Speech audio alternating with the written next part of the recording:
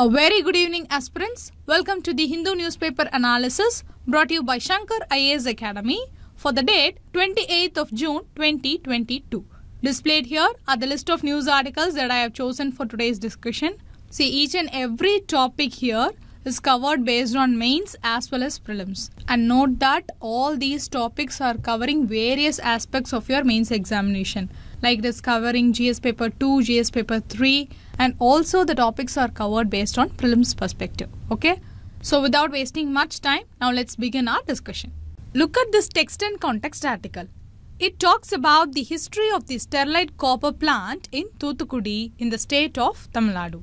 The article explains why the local communities oppose the functioning of the copper plant in Thoothukudi. In this context, let's discuss some of the important points about the Sterlite copper plant and the impact of its closure. See, the Sterlite Copper is a copper smelting unit and it is a subsidiary of the Vedanta Group. Sterlite produces non-ferrous metals like copper, aluminium and zinc. Along with this, it also produces some chemicals such as sulfuric acid and phosphoric acid. On June 20, the Vedanta Group put an advertisement which said that Sterlite Copper at Thoothukudi is up for sale. The Vedanta, in conjunction with Axis Capital, decided to sell its copper plant along with its sulfuric acid plant and copper refinery, among others. See, this no raised the eyebrows of the local people, industries, then politicians and environmentalists who have been constantly tracking them. So now comes the question why the company desired to sell its Sterlite copper plant? This is because the Sterlite Copper has been incurring a loss of 5 crore per day since the plant was sealed in 2018 by the Tamil Nadu government. The company officials indicated that even if the Supreme Court allowed them to reopen the company, it would need around 800 to 1000 crore to revamp the plant. So why was the plant closed? Now let's discuss its history. See, Sterlite operated the largest copper smelter plant in India in Thoothukudi from the year 1998 to 2018. The first blow for the company came from the fishermen in the region. The fishermen, backed by the Marumalarchi Dravida Munnetra Kazhagam, a political party in Tamil Nadu, were worried that the effluents discharged from the plant would pollute the sea, which will in turn ruin their livelihoods. The second blow came in the year 2010 where the Madras High Court ordered immediate closure of the plant for not complying with environmental norms. See, the Supreme Court later stayed the High Court's order. The company got into troubled waters again in the year 2013 after a sulfur dioxide leak. But the Supreme Court allowed them to function after the payment of a fine of rupees 100 crore for polluting land and water by running the company without approval for a considerable period of time. Then in the year 2018, after the company announced that it would be enhancing its capacity, large-scale protests from local and neighboring localities broke out. On May 22, the protests turned violent and the police opened fire which led to the death of 13 civilians. A week later, the Tamil Nadu government sealed the plant. So this is the history of this plant. Okay. Now what is the argument by the company regarding the allegations? The company have always emphasized the fact that the plant is equipped with full-fledged air pollution control measures and adequate solid waste management facilities. In the last four years, the senior management has stressed that the plant follows zero liquid discharge since inception so that all the effluent is treated and recycled back into operation resulting in no effluent discharge. See, they also said that the regulator, who is the Tamil Nadu Pollution Control Board, carries out regular monthly sampling across all village borewells and has found no abnormalities. So, this is what the company is arguing against all the allegations filed against it. Okay. Now let's discuss about the impact that the closure of the plant has created. Since the shutdown of the Tuticorin plant, India has shifted from being a large net exporter of refined copper to now being a net importer of copper. India is now importing copper at a historically higher price, which is close to around 9,600 US dollars per ton, which is around 50 percentage higher as compared to the average prices of copper when India was net exporter of the same. Then it was around 6,500 US dollars per ton only. Okay. But now what is the rate? It is 9,600 US dollars per ton. Also know that Sterlite was a major domestic supplier of phosphoric acid. Its capacity was about 2,20,000 metric tons, which is a key raw material for fertilizer manufacturing companies. Okay. See, these fertilizer units were impacted due to stoppage of supplies and had to start importing. So the main impact that the closure of the plant has created is it has increased the import of copper for the country. Okay. So having seen all the issues and the allegations and the arguments that the company has made, now let's see what is to be done. See, in a socio-economic context, a trade-off is an inevitable necessity in the debate between development and environment. Here the word trade-off means a balance achieved between two desirable but incompatible features. That is more or less it is like a compromise. Okay. See with the population of over 130 crore, the issue of development cannot be wished away. So this calls for a responsible political leadership. It also needs professionalism from assorted government agencies like the Pollution Control Board. So the two major needs will be one will be responsible political leadership and the other one will be professionalism in government agencies like Pollution Control Board. So that's all about this news article. In this news article, we discussed about the Sterlite copper plant, which is a hot topic for a while. See, don't just narrow down your thoughts with the Sterlite copper plant in Thoothukudi alone. See, take any plant or any industrial unit which is causing some harm to the environment. When a question in mains comes like this, when a debate arises between development and environment, no to match or no to balance your answer because both development and environmental concern are to be addressed at the same time. Okay? So when we discussed about the Sterlite copper plant itself, we discussed what are all the allegations filed against the company and we also saw the arguments that the company is making against all these allegations. So make sure you always give a balanced answer in mains. Okay. So this is how your discussion should be when a question is based on development and environmental basis. Okay. So with these key points in mind, now let's move on to the next news article discussion have a look at this op-ed article. See this article talks about India-UAE relations. Now, why we are suddenly talking about India-UAE relations? This is because our Prime Minister Narendra Modi is attending two summits this week. Firstly, he is a special invitee at the 48th G7 summit at Germany. See, regarding this G7 summit, we had a clear discussion yesterday. So just have a look at it, okay? After that, he has a bilateral summit in Abu Dhabi with the UAE president on June 28. See, the author of this article considers the second event as most significant. That is, the visit of Prime Minister Narendra Modi and the UAE President is considered as the most significant. We'll see why. So, this is the crux of the news article given here. In this context, let us quickly go through some of the important points mentioned in this news article and thereby we will come to know about the India-UAE relations in detail. Okay. Before that, the syllabus relevant to this news article is given here for your reference. Just go through it. Now let's start our discussion. See, India and United Arab Emirates or UAE enjoy strong bonds of friendship based on age-old cultural, religious and economic ties between the two nations. The relationship flourished after the accession of Sheikh Zayed bin Sultan as the ruler of Abu Dhabi in 1966 and subsequently with the creation of the UAE Federation in the year 1971. Since then, both sides have made sincere efforts to improve relations in all the fields. Now talking about political relations, See, India UAE bilateral relations have received impetus from time to time with exchange of high level visits from both sides. The historic visit of Prime Minister of India to the UAE on 16th and 17th of August 2015 no, marked the beginning of a new and comprehensive and strategic partnership.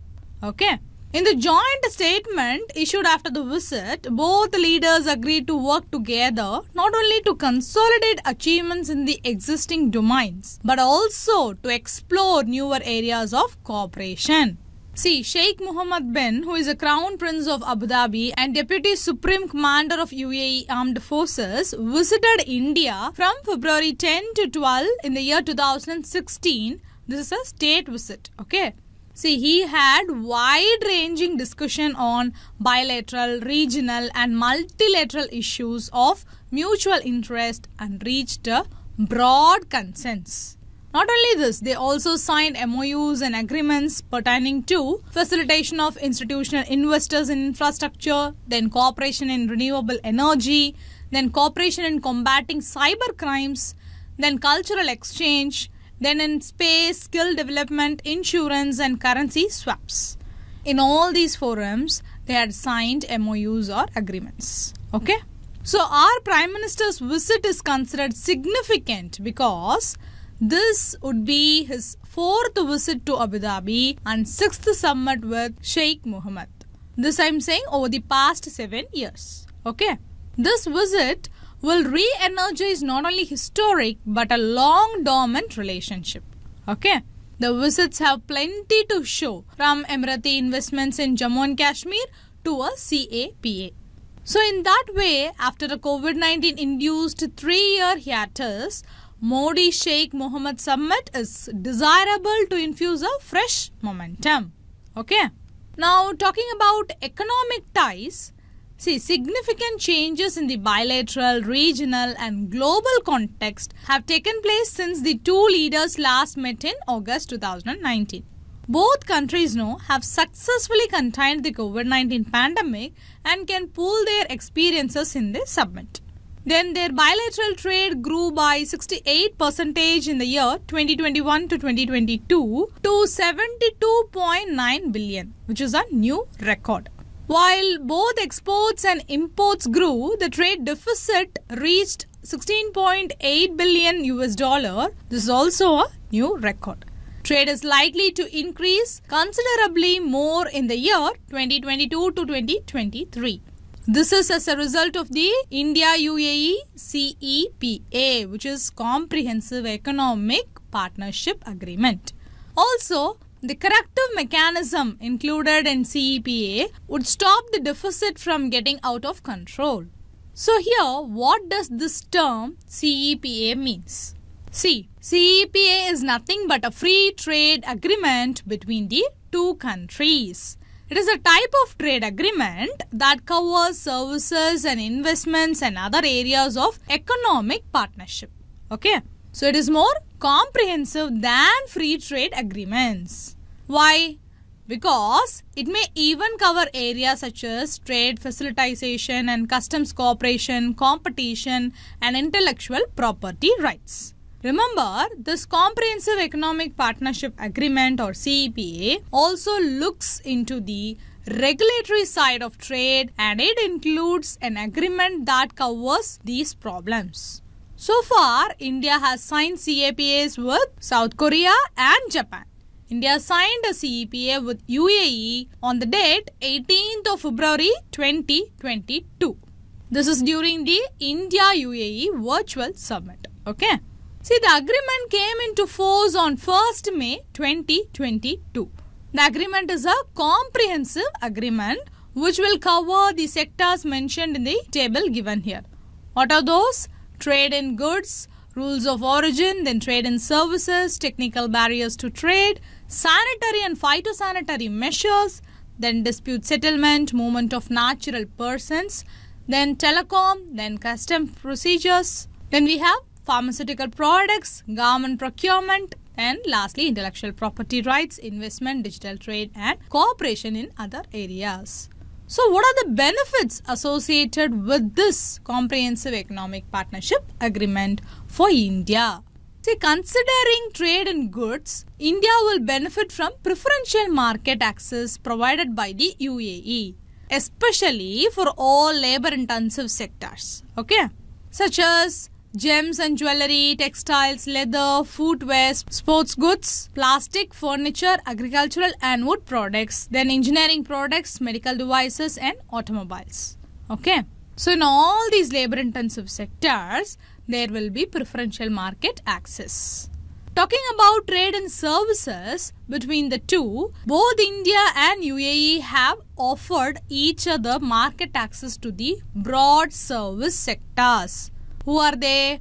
For example, you can say business services, communication services, construction and related engineering services, then distribution services, educational services, environmental services, financial services. And not only this, we also have health related and social services, tourism and travel related services, then recreational, cultural and sporting services. And then we have transport services. And finally, considering trade in pharmaceuticals, both sides have agreed to a separate annex on pharmaceuticals. This is to facilitate access to Indian pharmaceutical products, especially automatic registration and marketing authorization in 90 days for products meeting specified criteria. Okay. And the point you must note here is that according to the author, through the CEPA, India, which is the world's fastest growing major economy, could be a lucrative market for investments in areas such as petrochemicals, pharmaceuticals, renewables, infrastructure, manufacturing, logistics, startups, etc. etc. This is true because the United Arab Emirates or UAE is one among the countries which collects petrodollars. Petrodollars are US dollars paid to an oil exporting country. Okay. Petrodollars are the primary source of revenue for many OPEC members and other oil exporters. Okay. Apart from this, the two sides can collaborate for the eventual reconstruction of the war-waged regional countries such as Yemen, Syria, Somalia, Iraq, Libya and Afghanistan. In the bilateral political domain, the two sides have cooperated efficiently on security and anti-terrorism. But they need to do more to fight money laundering and the flow of illicit narcotics. Okay? So to conclude, considering all these, the India-UAE summit is timely and most appropriate and has potential to have an influence that goes beyond the bilateral relationship. Okay? So that's all about this news article. See, in this news article, we have covered a wide range of the India-UAE relationship. Okay, so any question that is regarding the India-UAE relationship can be handled just with this discussion itself. And note that this is a very hot topic regarding the bilateral relationship or it is also a hot topic in the GS paper, okay? In mains perspective, all these points can be straight away utilized to enrich your answer. So these key points in mind, let's move on to the next news article discussion. Now have a look at this snippet article. It is from the Archives column. It mentions an important event that happened 50 years ago on this same day. The event mentioned is the opposition registered by the Member of Parliaments against the Wanchoo Committee's recommendation for unearthing black money. One of the recommendations was demonetization of currency.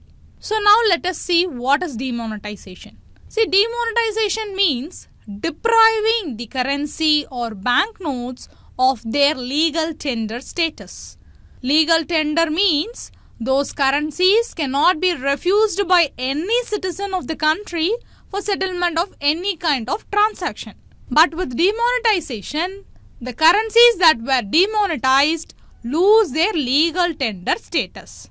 That is, they cannot be used in India in any kind of transaction anymore. Now in place of these currencies, new notes with same or with different denominations are introduced.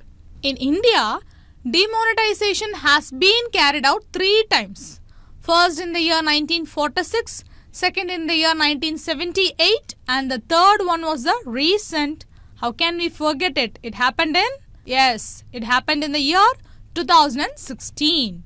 The objectives behind 1978 and 2016 demonetizations revolved around the same aim of tackling the issue of black money.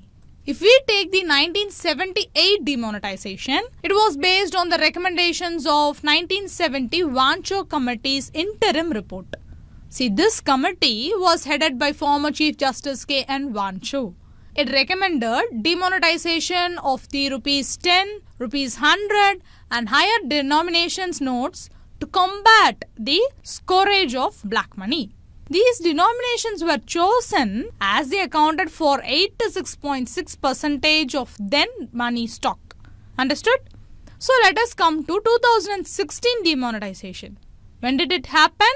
Yes, it happened in November 2016. Its aim was fourfold. First, it was to tackle the problem of corruption. Second, tackling the black money. Third was countering terrorism. And lastly, tackling the circulation of fake or counterfeit currency in the economy. So in this demonetization, old currency notes of rupees 500 and rupees 1000 were no longer legal tender. This made 86 percentage of money in circulation invalid.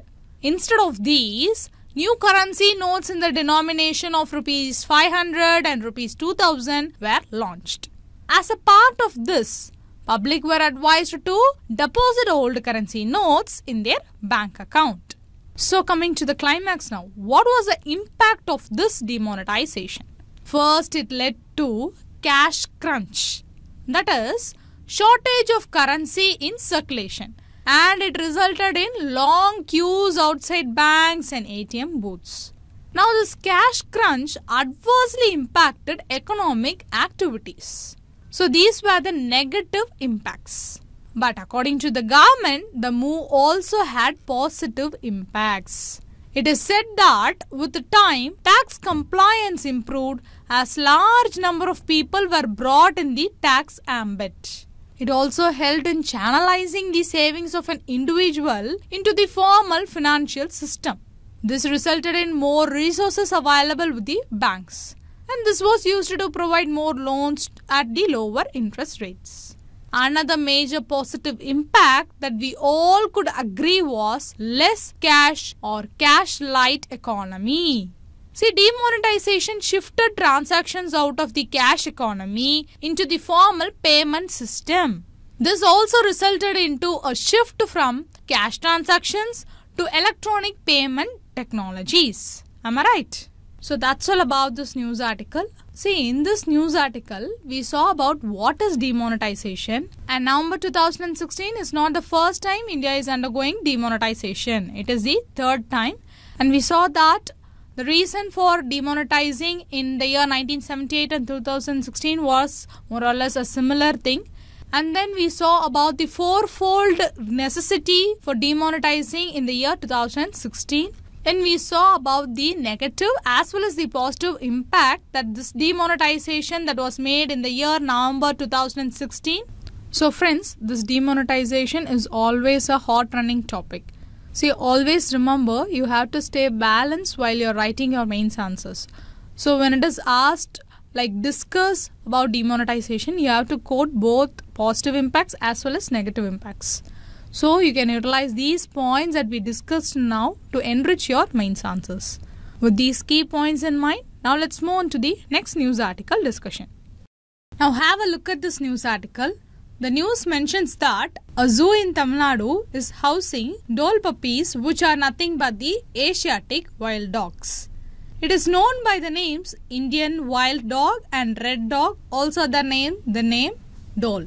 Dhole is a habitat generalist. So it can occur in a wide variety of vegetation types like tropical dry and moist deciduous forest, evergreen and semi-evergreen forest, temperate deciduous forest, alpine steppes, etc. etc. An important feature to note is dhole is one of three canid species with specialized dental adaptations. This is for an exclusively carnivorous diet. Okay.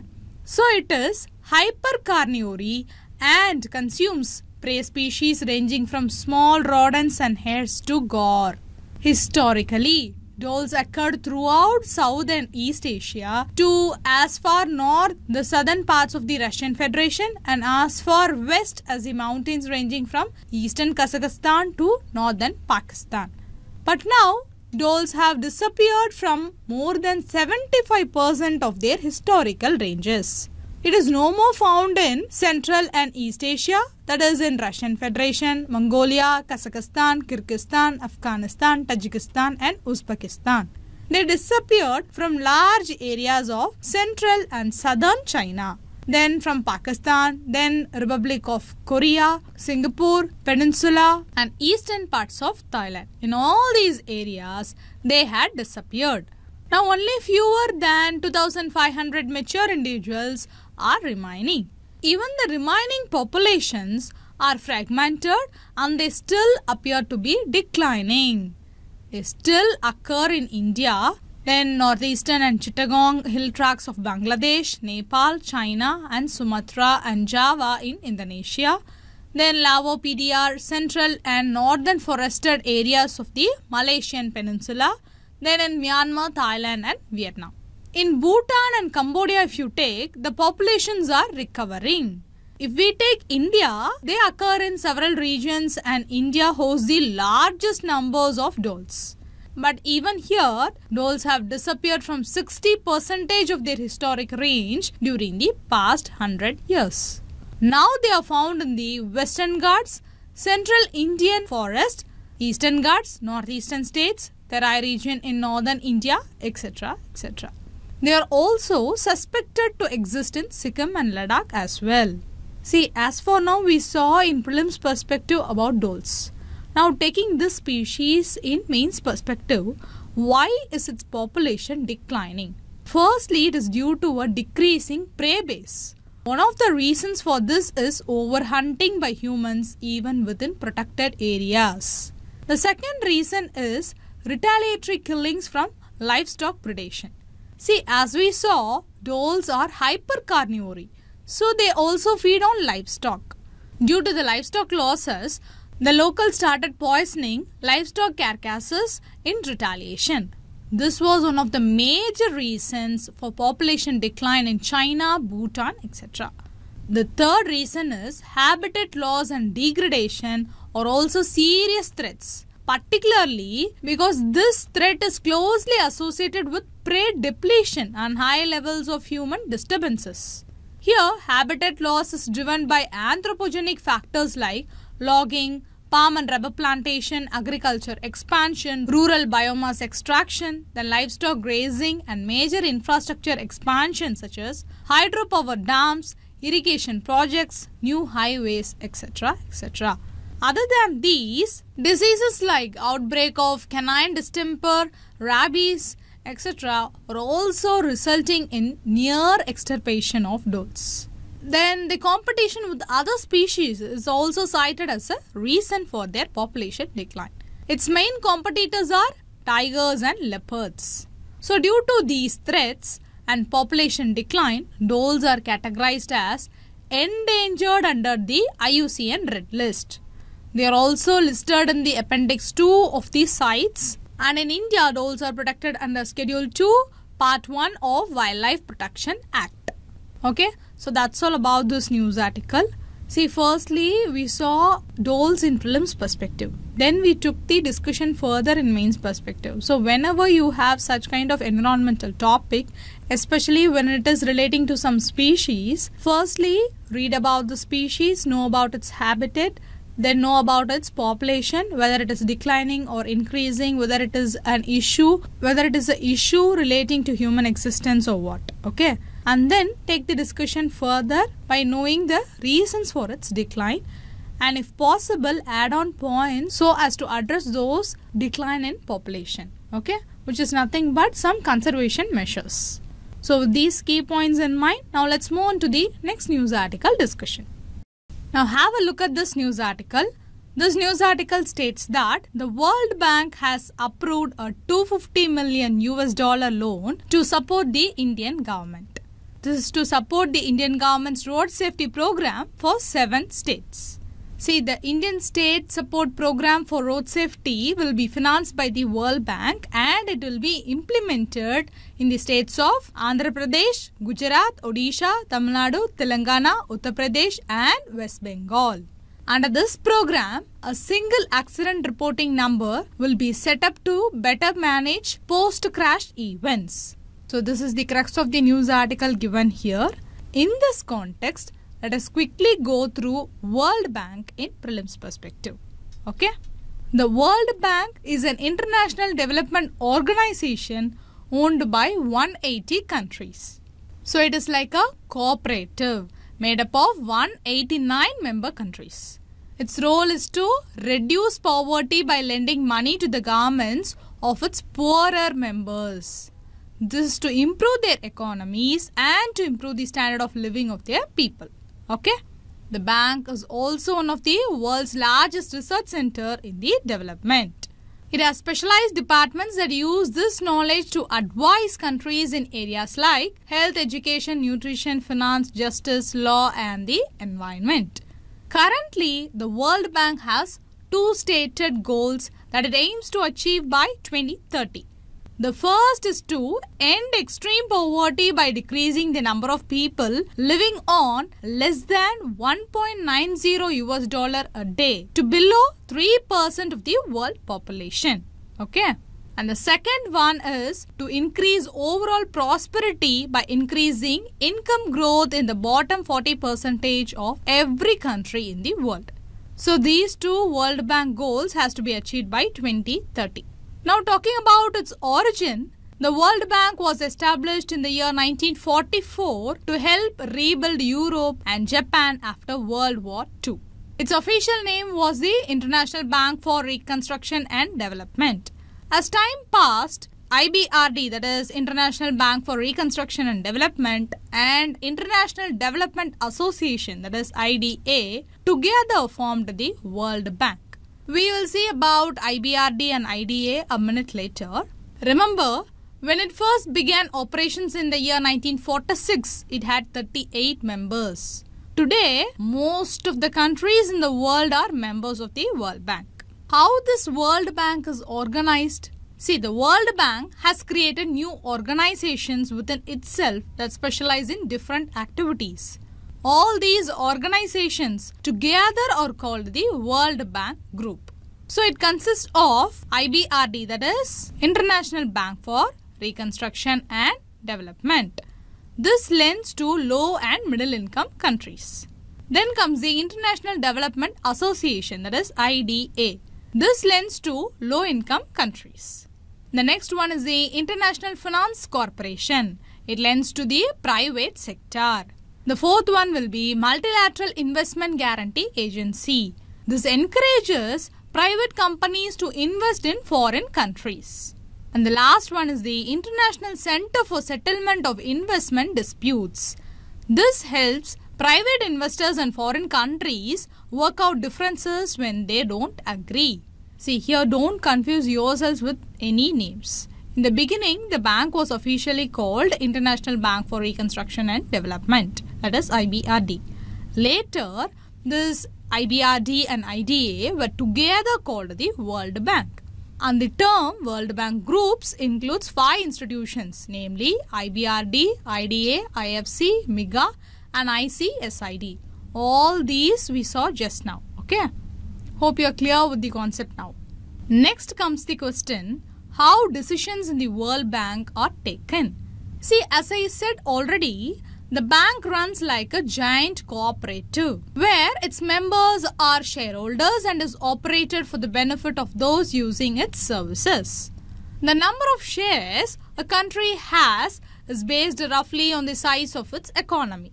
The United States is the largest single shareholder followed by Japan, Germany, the United Kingdom and France. The rest of the shares are divided among the other member countries. Okay. Remember, a board of governors represents the bank's government shareholders. Generally, these governors are country ministers such as Minister of Finance or Minister of Development. The governors are the ultimate policy makers in the World Bank. What about their meeting? They meet once a year at the bank's annual meetings. At the annual meetings, all of the banks and international monetary funds governors decide how best to address global development issues and decide what the world should focus on in the upcoming year. This is all to help reduce the poverty in the world. So that's all about this news article. In this news article, we covered about the World Bank, its history, then we saw about the organization under the World Bank Group. See, note that in this year itself, we got a static question, a very static question indeed, about the United Nations, right? Likewise, you can expect a very static question from the various international organizations. Okay? So, with these key points in mind, now let's move on to the next part of the news article discussion, which is the preliminary practice question discussion. Today, we have three prelims questions. In that, two we will be discussing today and one will be a quiz question for you. Okay? Now, look at this first question. It is a two statement question and it is regarding the demonetization discussion. Okay? See, whenever you have two statement type of question, you have to go through both the statements before arriving at the answer. Okay. Now read the first statement. Demonetization is the stripping of fiat money status of a currency but retaining its legal tender status. See, this statement is incorrect. What do you mean by demonetization? Demonetization means removing the legal tender status. And note that fiat money has no relevance here. What do you mean by fiat money? Fiat money means it is a government issued money but not backed by a physical commodity such as gold or silver. Okay, for example, you take rupee. It is a fiat currency of India or you can say it is the official currency of India. Okay, so statement 1 which says it retains its legal tender status is making the statement incorrect. Okay. Now let's move on to the second statement. In India, demonetization has happened more than once. See, this statement is absolutely correct. If you remember, this we saw in our discussion itself, right? As of now, demonetization in India has occurred thrice. Okay? So now read the full question. The question is demanding for correct statements. So your answer here will be option B, 2 only is the correct statement. Okay? Now look at this second question. The Global Economic Prospect, that is GEP report, sometimes seen in news is released by option A World Bank, option B International Monetary Fund or IMF, then option C World Economic Forum, then option D none of the above. See the correct answer for this question is option A World Bank. The Global Economic Prospects is a World Bank Group flagship report and it examines global economic developments and prospects with a special focus on emerging market and developing economies. Okay. Note that it is issued twice a year in January and June. Now let me tell you few other reports that are released by World Bank the World Development Report, then Global Financial Development Report are some of the other reports that are released by the World Bank. Okay. So what is the answer for the second question? Yes, the second question answer is option A, World Bank. Okay. Now look at this question. It is a quiz question for you. See, this is such a easy question. If you had keenly observed the discussion, you can easily answer this question. Okay. Which of the following are the reasons for the decline in population of the species dhole? Four reasons are given and choose the correct code based on that reason. Okay. The answer for this question will be put up in the comment section within 24 hours. Okay. Having seen the prelims question, now let's move on to the mains practice question. Today we have two mains practice question. See, go through the question and try to write an answer for each of these question and post your answers in the comment section See, every day these kind of mains questions are given so as to improve your writing skills, okay, which is very much important for your mains examination. And as these questions are relevant to our discussion and it will be very useful for analyzing how far you had observed from all these discussions, okay. So that's all for today's discussion. If you like this video, do like, share and comment and don't forget to subscribe to the Shankar IAS Academy's YouTube channel. Thank you for listening. Música